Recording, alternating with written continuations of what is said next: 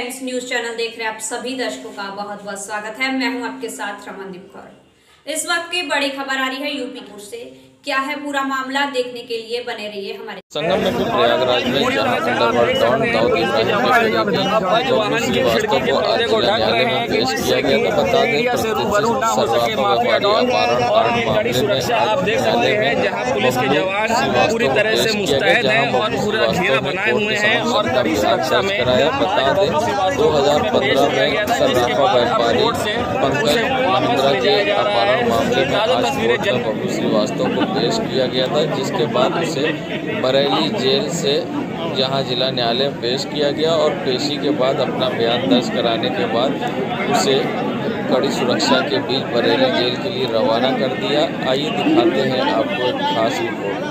को जहाँ आज कोर्ट में पेश किया गया था और माफिया डॉन बबलू को यहाँ लाया जा रहा है और यहाँ से गाड़ी से उसको वापस बरेली जेल ले जाया जाएगा। बता दे प्रतिष्ठित जहाँ सर्राफा व्यापारी के अपहरण कांड मामले में उसे आज यहाँ कोर्ट में पेश किया गया था और आप देख सकते हैं कड़ी सुरक्षा के बीच में बबलू श्रीवास्तव को कोर्ट से वापस गाड़ी के द्वारा लाया जा रहा है। वज्र वाहन में बबलू श्रीवास्तव को कड़ी सुरक्षा बीच में फोर्स आप देख सकते हैं लगाई गई है और यहाँ पर फोर्स के द्वारा लगातार कार्रवाई कर, कोर्ट की कार्रवाई के बाद अब बाहर लाया जा रहा है। आप देख रहे हैं माफिया डॉन दाऊद का करीबी बबलू श्रीवास्तव इसी वर्ज वाहन में लाया गया था जिसे बरेली से लाकर कौशाम्बी जेल में रखा गया था।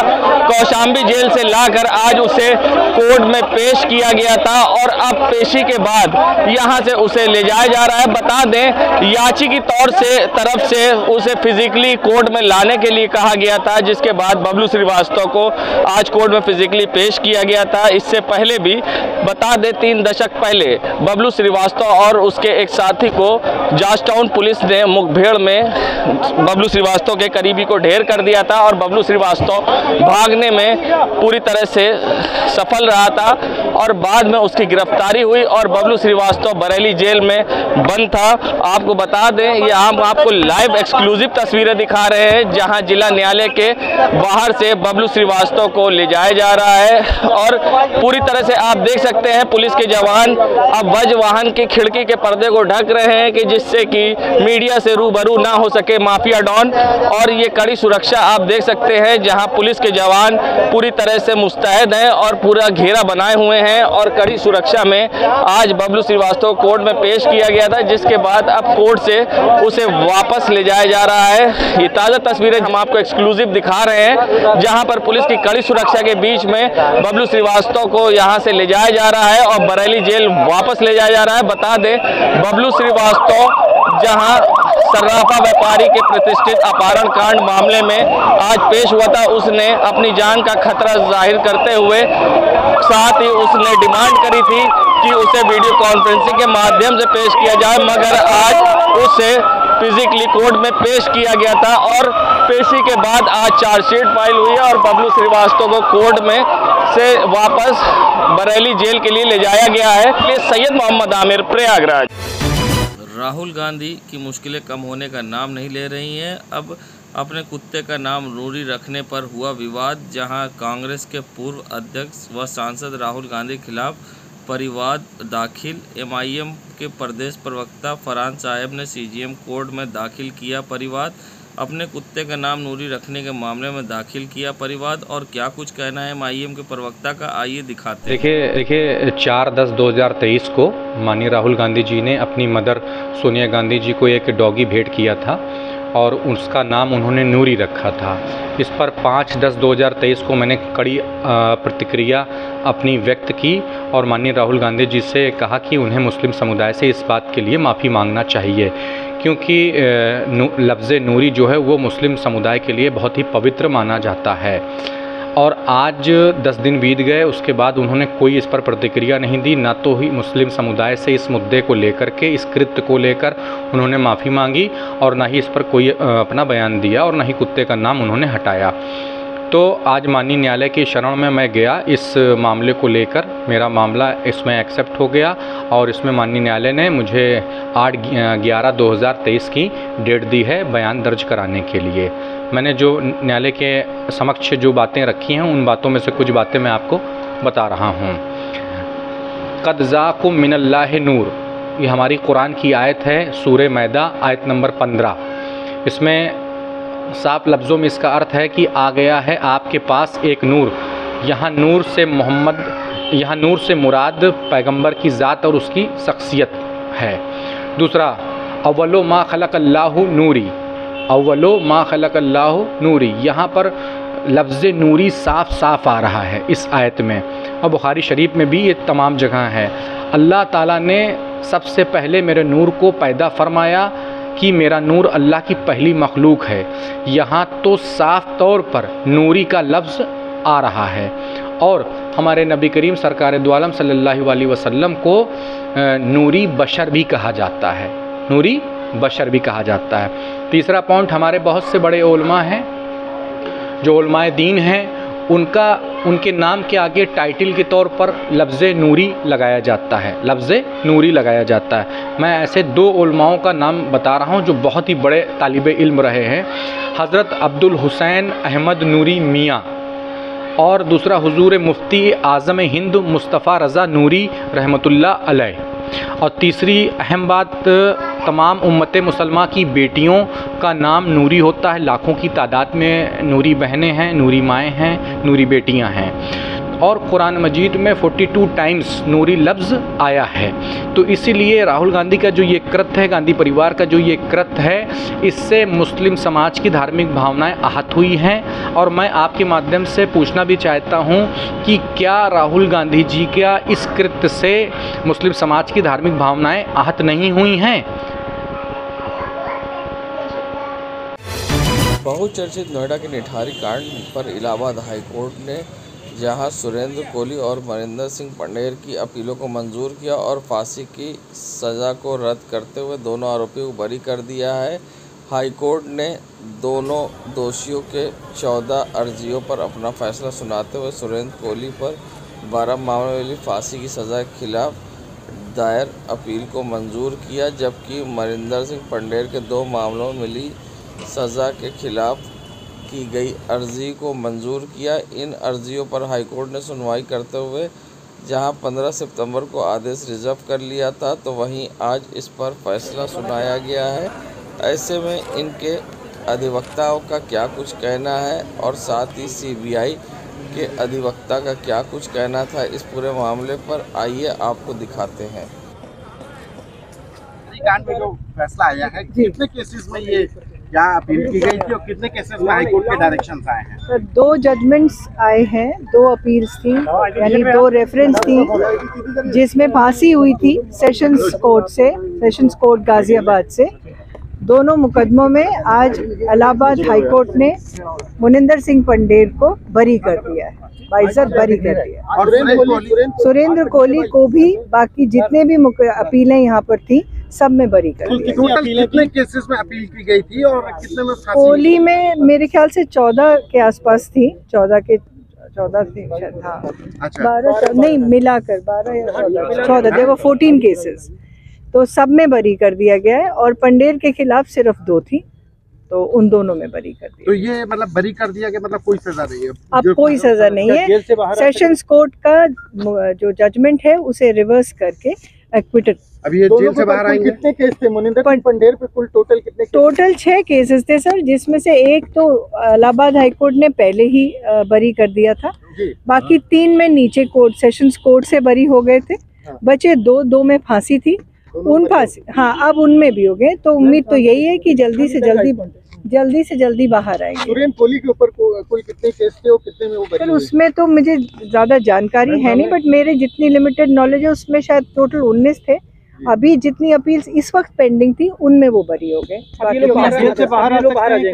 Mister Pandher should be out by tomorrow Kohli को सुप्रीम कोर्ट से एक मामले में उसमें सर जो हाई कोर्ट ने बरी किया था रिम्पा हल्दर मर्डर केस में उसमें हाई कोर्ट सुप्रीम कोर्ट में अपील फ़ाइल हुई थी। तो वो पेंडिंग है उसमें कोई अभी जजमेंट नहीं आया सुप्रीम कोर्ट से सजा नहीं हुई है नहीं नहीं। अच्छा सीबीआई को क्या कहा sir Noida Noida jail. CBI CBI किसमें? कोहली को हमको तो क्या पंडित को कोई सजा नहीं। ऐसे ग्राउंड क्या कौन से ऐसे ग्राउंड सी थे? कमियाँ जो एक सर पूरा पूरा इन्वेस्टिगेशन अंडर चैलेंज है। हाई कोर्ट के अभी तक तो जो हमने देखा है उन्होंने इन्वेस्टिगेशन जिस तरीके से मुकदमे में फांसी हुई इन सब पे सवाल खड़े किए हैं। बाकी आप लोग देखेंगे अभी पूरी तरह से हमने भी नहीं पढ़ा है। लेट द जजमेंट कम आपने इन्वेस्टिगेशन को के प्रोसेस को चैलेंज किया। संपूर्णतः? जी। इन्वेस्टिगेशन को वन से ऐसा हुआ था सर जो अ, बाकी मुकदमों में से एक को छोड़कर पाँच में तो हमें सीबीआई ने ही बाहर कर दिया था। एग्जॉनरेट किया था। हमारे खिलाफ कुछ नहीं पाया गया था। लेकिन उसके बावजूद उनको समन करके फिर ये मुकदमा कायम किया गया वो समनिंग भी हाईकोर्ट में काफ़ी समय से पेंडिंग है। लेकिन फ़िलहाल जो कोर्ट के अभी तक मैंने जो जजमेंट सरसरी निगाह से पढ़ा है उन्होंने हर तरह का जो भी एविडेंस कलेक्शन है जिस तरीके से हमको उसमें इम्प्लीकेट किया गया हर चीज़ पे सवाल खड़े किए। को कुल कितने मामलों में एक सज, एक ही मामले में सजा हुई थी ना वहाँ से ट्रायल कोर्ट इससे पहले एक मामले में हुई थी जो कि हाई कोर्ट ने बरी कर दिया था। ये दूसरा मामला था। जी। ये बाकी दो थे। तीन में टोटल छह हैं। छह में से आज की तारीख में छह के छह में बरी हैं। तो जो है बाहर आ जाएँगे जेल से। उम्मीद तो यही है सर। आना भी चाहिए। का ऑर्डर आया वो ढाई सौ पेज के ऑर्डर हैं सारे में अलग अलग सेपरेट ऑर्डर पास हुए हैं। और जो ऑपरेटिव पोर्शन है उसी को पढ़ के जज साहब ने उसको कन्विक्शन उसका जो है वो उसको एक्विट कर दिया। अब जो है देखने वाली बात यह है कि जो विक्टिम थी रिम्पा हल्दर जिसका ऑलरेडी कन्विक्शन हो चुका है उसमें सुरेंद्र कोहली का जो है कैपिटल पनिशमेंट हो गया था वो सुप्रीम कोर्ट ने भी अपहेल्ड कर दिया। और इसमें एविडेंस और जो रिकवरी है वो सेम है। और उसी एविडेंस रिकवरी पे एक एक एक तरफ़ जो है वो कन्विक्शन हो जा रहा है और एक तरफ़ एक्विटल हो जा रहा है। और जो कन्विक्शन है वो सुप्रीम कोर्ट तक अपहेल्ड हो गया है। है ना? तो फिर जो है अब कैसे इन्होंने जज साहब ने किया है वो देखने वाली बात सीबीआई है का स्टैंड क्या रहेगा? सीबीआई का स्टैंड तो वही है कि जब सुप्रीम कोर्ट ने अपहेल्ड कर दिया उसी सेट ऑफ़ फैक्ट पे। तो ये कैसे कॉन्ट्राडिक्टरी ऑर्डर पास हुआ है वो देखना। बिल्कुल चैलेंज करेंगे। हम हम इसको अपने लीगल एडवाइस में देंगे सीबीआई ब्रांच को कि वो अपना सुप्रीम कोर्ट में इसको चैलेंज करें।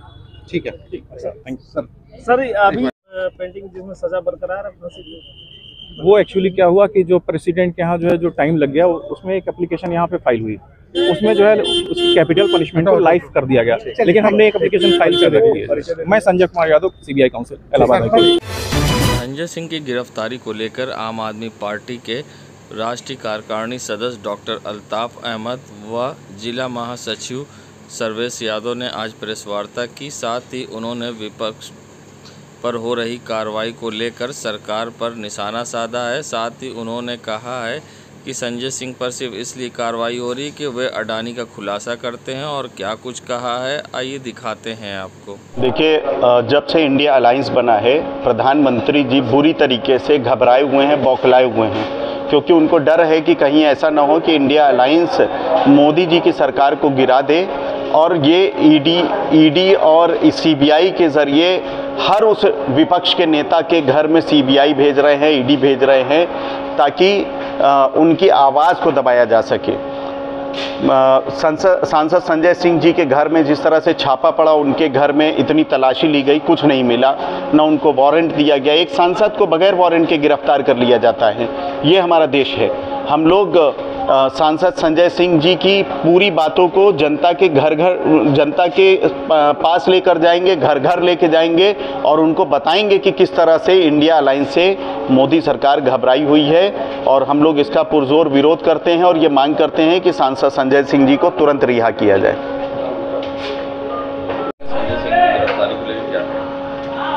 मोदी जी का एक डिपार्टमेंट है इंटरटेनमेंट डिपार्टमेंट जिसको आप ईडी के नाम से जानते हैं। ये संजय सिंह जी को गिरफ़्तार करती है, ले जाती है, रिमांड पे लेती है। इनको आठ दिन में संजय सिंह से केवल तीन घंटे बात करती है। सात लोगों से मिलाने की बात होती है, जिसमें से जब न्यायालय में उनको पेश किया जाता है संजय सिंह जी को तो वहाँ पर संजय सिंह जी का बयान होता है कि आठ घंटे में तीन दिन हमसे केवल ईडी बात की है। सात लोगों का नाम बता रहे थे, एक लोगों से मुलाकात कराई तो कहीं ना कहीं संजय सिंह को प्रताड़ना दे रहे हैं। इस बात के लिए की कुली की बात उन्होंने उठाई, टीटी की, नौजवानों की, किसानों की, छात्रों की, महिलाओं की, सबकी जनहित की बात सड़क से सदन तक उठाते रहे और संजय सिंह कहीं ना कहीं इंडिया अलायंस को बहुत तगड़ी मजबूती दे रहे थे। इसलिए मोदी जी घबरा के, संजय सिंह जी को ईडी के दबाव में ईडी को ईडी के माध्यम से संजय सिंह की आवाज़ को दबाना चाहते हैं और संजय सिंह इस उत्तर प्रदेश के माटी के लाल हैं, शेर हैं, वो दबने वाले नहीं हैं, डरने वाले नहीं हैं। हम लोग उनके एक एक सिपाही अपनी जान उनके लिए देने के लिए तैयार हैं। 21 तारीख को पूरे उत्तर प्रदेश के अंदर एक बड़ा आंदोलन होगा। उसके बाद 27 तारीख को हम पूरा उत्तर प्रदेश दिल्ली की कूच करेगा। सर्वेश यादव, जिला महासचिव आप प्रयागराज। संगम नगरी प्रयागराज में माफिया डॉन दाऊद इब्राहिम के करीबी डॉन बबलू श्रीवास्तव की आज जिला कोर्ट में पेशी हुई है। बता दें, सर्राफा व्यापारी अपहरण कांड में हुई है। पेशी पंकज महेंद्रा के अपहरण कांड 2015 में हुए। मामले में बबलू श्रीवास्तव को बरेली जेल से प्रयागराज लाए के कोर्ट में पेश किया गया है। वहीं अन्य अभियुक्तों की भी इसमें गवाही होनी है, जिसके बाद कोर्ट फैसला सुनाएगी। हाई कोर्ट के निर्देश पर डे टू डे होनी है सुनवाई। इस पूरे मामले पर क्या कुछ कहना जिला शासकीय अधिवक्ता फौजदारी गुलाब चंद अग्रेरी का आइए दिखाते हैं। श्रीवास्तव को पेश किया गया कोर्ट में। क्या प्रोसीडिंग और पेशी कब होगी? देखिए, यह घटना 5 सितंबर 2015 की थाना कोतवाली की है और इसमें अभियुक्त बबलू श्रीवास्तव के आपराधिक षड्यंत्र व साजिश के तहत अन्य सह अभियुक्तों ने सराफा कारोबारी